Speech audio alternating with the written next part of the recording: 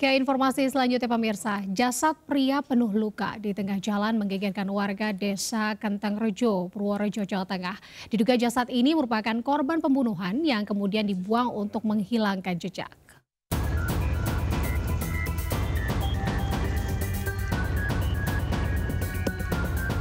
Jasad laki-laki ditemukan di jalan desa sebelah timur SPBU Ketang Rejo penuh luka senjata tajam.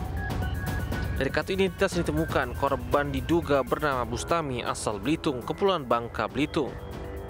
Jasad pertama kali ditemukan dalam kondisi terlungkup oleh warga yang melintas di jalan desa.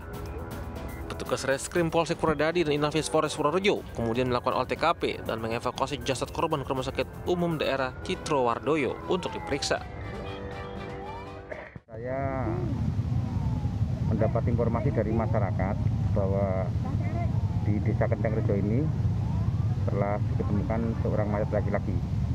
Kemudian kami bersama Piket Esim dan dari Den e, serta dari Medis melakukan pengecekan. Polisi kini tengah menyelidiki kasus ini dan menduga korban tewas dianiaya seseorang. Pembunuhan kepada warga Bangka Belitung ini, polisi masih melakukan penyelidikan atas kejadian yang menyebabkan korban tewas tergeletak di tengah jalan. Dari Purworejo, Jawa Tengah, Joy Hartoyo melaporkan.